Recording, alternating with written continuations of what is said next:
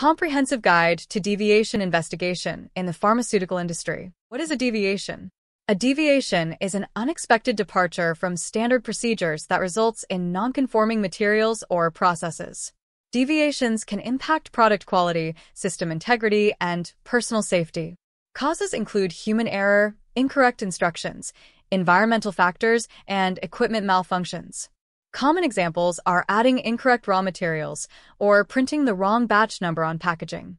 Managing deviations involves real-time recording and thorough investigation using root cause analysis. Why investigate deviations? Effective deviation investigations ensure compliance with FDA and other regulatory bodies. Poor investigations can lead to warning letters and penalties. Thorough investigations help prevent recurrence and reduce regulatory warnings. FDA issued numerous warnings for CGMP deviations between 2019 and 2023, highlighting the need for proper management. Effective deviation investigations enhance product quality and operational efficiency. What are the types of deviations? Planned deviations are intentional changes aimed at process improvement and are pre-approved.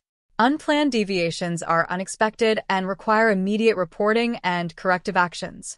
Examples include intentional process changes, planned, and equipment failures, unplanned. Both types require impact assessment to ensure no adverse effects on product quality. Proper management of deviations involves detailed logging and tracking. How to report deviations.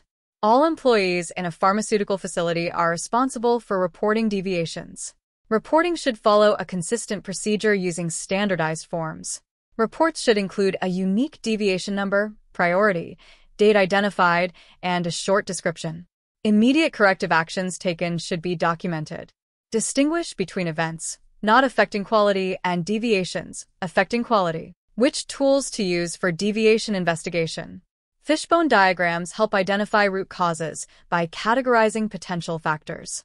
Spider diagrams are useful for brainstorming and mapping relationships. Pareto charts identify the most significant causes of problems. Histograms provide graphical data representation to spot patterns. Brainstorming sessions encourage collective input for identifying causes and solutions. How to conduct root cause analysis.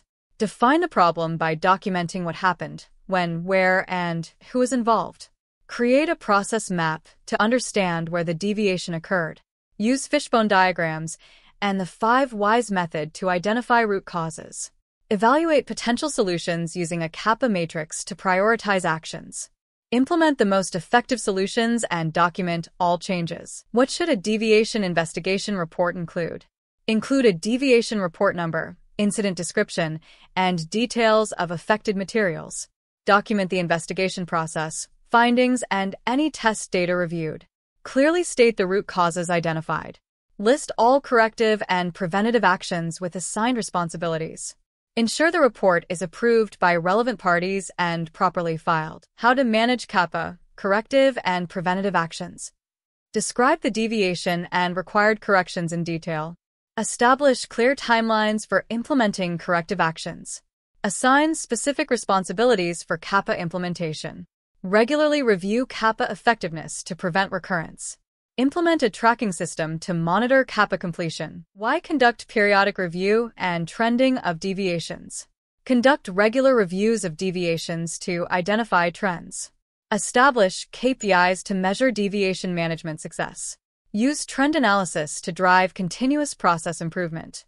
Integrate learnings from investigations into training and procedures. Maintain detailed records of reviews and trend analyses. How to assess reported deviations. Quality assurance assesses reported deviations and assigns a risk level. Preliminary investigation assesses overall risk by examining deviation scope and trends. Review similar causes and potential quality impact. Assess impact on regulatory commitments and market actions.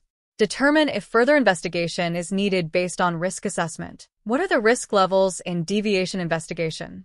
Minor deviations have no significant impact on product quality and require minor corrections. Major deviations pose significant risks to product quality, patient safety, or data integrity.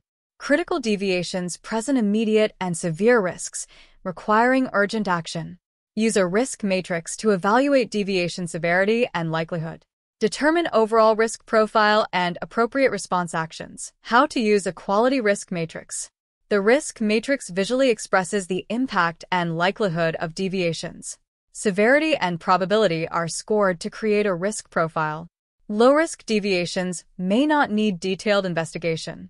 Medium to high-risk deviations require corrective actions to prevent product rejection or recall.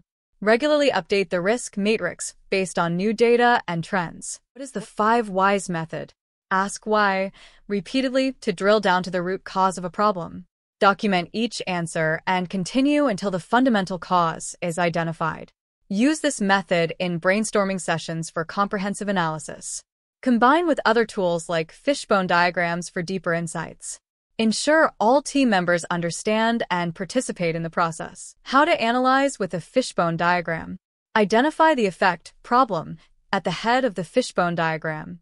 Create branches for potential causes in categories like machine, method, and materials. Brainstorm possible causes and document them on the diagram. Analyze each branch to identify the most likely root causes. Use the findings to develop corrective and preventative actions. How to implement corrective actions. Develop a clear action plan based on root cause analysis. Prioritize actions based on impact and feasibility. Assign specific tasks to team members with clear deadlines. Monitor progress and make adjustments as needed. Document all actions taken and their outcomes. How to plan preventative actions. Identify potential future risks and develop strategies to mitigate them. Implement changes to processes and systems to prevent recurrence. Train employees on new procedures and best practices. Regularly review and update preventative action plans. Track the effectiveness of preventative measures over time. What is a deviation management flowchart? Create a visual flowchart outlining the deviation management process. Include steps for reporting, assessing, investigating, and resolving deviations. Use the flowchart as a decision tree for consistent handling of deviations. Ensure all employees are trained on using the flowchart. Update the flowchart as needed to reflect process improvements. How to use reporting systems. Implement electronic reporting systems for real-time deviation tracking. Ensure systems are user-friendly and accessible to all employees. Integrate reporting systems with other quality management tools. Regularly audit reporting systems to ensure accuracy and compliance. Use data from reporting systems for trend analysis and continuous improvement. Why? Is training and education important? Regularly train employees on deviation reporting and investigation procedures. Use case studies and real-world examples to enhance understanding. Provide ongoing education on new tools and techniques. Encourage a culture of continuous learning and improvement. Monitor training effectiveness through assessments and feedback. What are the regulatory references? Refer to FDA guidelines for CGMP compliance and deviation management. Consult ICH Q10 for pharmaceutical quality system requirements. Use EU GMP guidelines as a reference for deviation handling in Europe. Stay updated on regulatory changes and updates. Implement best practices from industry standards and guidelines. How to manage documentation and record keeping. Maintain detailed records of all deviations and investigations. Ensure documentation is clear, accurate, and easily retrievable. Use electronic systems for secure and efficient record keeping. Regularly review and audit documentation for compliance. Keep records for the required retention period as per regulatory guidelines. How to establish cross-functional teams. Establish cross-functional teams for thorough deviation investigations. Include members from quality assurance, production, and other relevant departments. Encourage open communication and collaboration within teams. Assign clear roles and responsibilities to team members. Regularly review team performance and make improvements as needed. How to implement continuous monitoring and improvement. Implement continuous monitoring systems for early detection of deviations. Use real-time data to identify and address issues promptly. Regularly review monitoring results to identify trends and areas for improvement. Integrate monitoring systems with quality management tools. Use findings to drive continuous process improvement. How to ensure effective communication. Ensure clear communication of deviation management procedures to all employees. Use multiple channels, meetings, emails, training sessions, for communication. Encourage employees to report deviations without fear of reprisal. Provide regular updates on deviation management performance. Use feedback from employees to improve communication and processes. How to evaluate solutions. Place identified solutions within a CAPA matrix for evaluation. Group solutions into categories like high benefit slash low difficulty and high benefit slash high difficulty. Prioritize solutions based on their potential impact and ease of implementation. Implement the most effective solutions promptly. Continuously evaluate the effectiveness of implemented solutions and make necessary adjustments. These practical steps, combined with thorough training and effective use of investigation tools, will ensure a robust deviation management process that aligns with regulatory requirements and promotes continuous improvement in the pharmaceutical industry. Thank you for watching this guide on managing deviations in the pharmaceutical industry. Understanding and effectively addressing deviations is crucial for maintaining high standards of product quality, ensuring regulatory compliance, and safeguarding patient safety. We hope this video clarified what deviations are, why they matter, and how you can implement tools like root cause analysis, risk assessment, and CAPA to create a proactive and compliant deviation management process. Remember, every deviation is an opportunity for improvement. Whether you're assessing planned or unplanned deviations, conducting thorough investigations, or documenting findings, each step contributes to a stronger, more resilient quality management system. Regular reporting, Effective training and continuous trend analysis are vital practices that keep your processes aligned with industry standards and reduce the risk of noncompliance. If you found this video helpful, please like, subscribe, and share it with others in the pharmaceutical field.